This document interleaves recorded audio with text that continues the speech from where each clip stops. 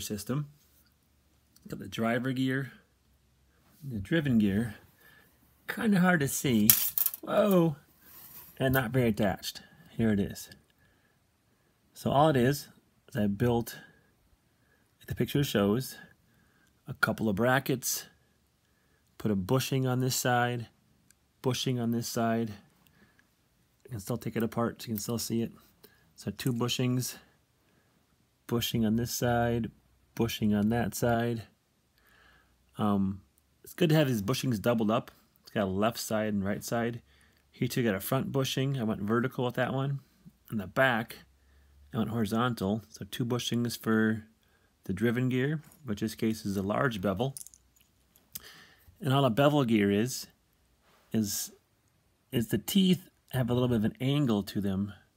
the angle is called a bevel. So that bevel gear is there. I put a little spacer in the back side to keep it off the back wall. The drive gear, same thing here. It's also a bevel gear. Teeth have an angle to them. And they're meant to have you guys run not at a straight, but at an angle. In this case, its max angle is 90 degrees. Okay, so I'm to put the, in this case, this is my driver gear plugs in. Driven gear, you take it apart, slide the axle through, and then carefully put the drive gear on. And I took it off so you can see better than how I had it before. And I also have my, on the back, I have my backside bevel gear ready to go too, that the axle will plug in. So have that fully supported and ready to go and in there, okay? So again, in this case, um, here's my driver gear the driver gear spins, turns the driven gear. Okay, so look here from this angle, a little better maybe. Driver gear spins, turns the driven gear. So the nice thing about here is you can have your your input direction at a right angle to your output direction. Let's say you're going to have, say, a uh, maybe um, a steering wheel on a car.